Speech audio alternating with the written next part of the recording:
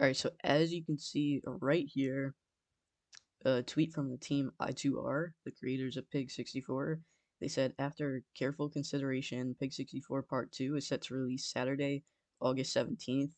Uh, it was originally set to release tomorrow, uh, but it got delayed by like two weeks, which is fine.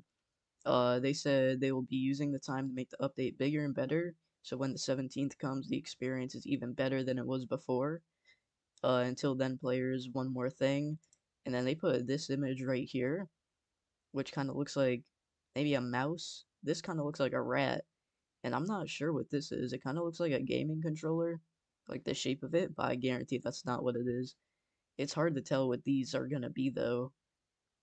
Uh, if you guys, you know, have any, like, idea of what they could be, tell me in the comments. But they also tweeted this out right under it. Uh, it says L-I-M, and we see, like, character right here, uh, sitting at a computer. And this is the loading screen for the game, uh, for Pig64. And it's kind of hard to see right here, but if you brighten up the image, uh, the text says working hard or hardly working. And this is the same description that the warehouse badge has. Um, so could be a hint to us getting the warehouse badge when we log back into the game, maybe. And this character right here, lots of people are saying it's Ronald, uh, the person that created Pig64, like, canonically in the story. But if you look right here, this is Ronald right here. This is the game cartridge, and this is the, like, NES that Pig64 is in. You can see right here, he has three whiskers right here. Kind of the head and the ears look the same.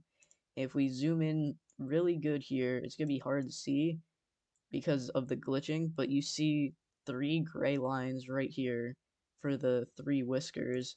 So this is probably Ronald right here.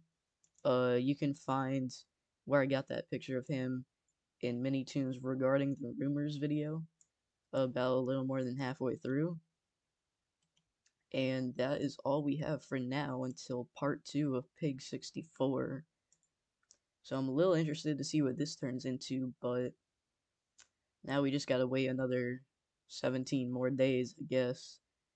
But I am excited for it, and I can't wait to play it.